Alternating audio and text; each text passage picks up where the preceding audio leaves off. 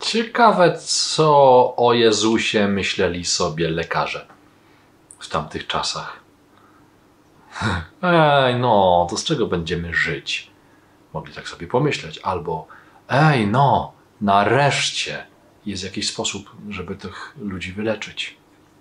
Prawdą jest, że mogli mieszkańcy pomyśleć, świetnie, damy mu jeść, damy mu nawet jakiś zarobek, damy mu mieszkanko i będzie mieszkał i będzie leczył ludzi, i będziemy mu przynosić nawet z sąsiednich miejscowości, może nawet byśmy jakąś małą opłatę symboliczną wprowadzili.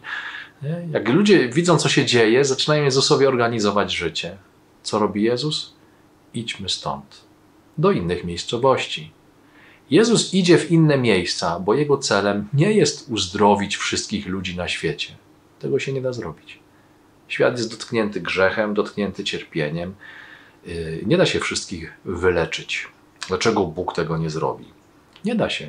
Świat jest złamany, nadwyrężony właśnie grzechem pierworodnym. Dopiero w nowym świecie to będzie zmienione.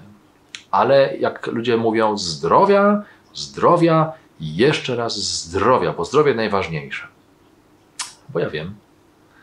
Może właśnie Jezus nam pokazuje, co jest y, najważniejsze. Najważniejsze jest odnaleźć drogę do pełni, do nieba, do zjednoczenia z Ojcem.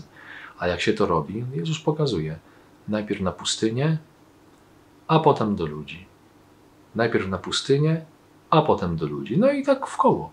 Żeby zrozumieć drugiego człowieka, albo nawet nie tyle go pojąć, co, y, co go uszanować i ukochać, trzeba pobyć na pustyni z Panem Bogiem.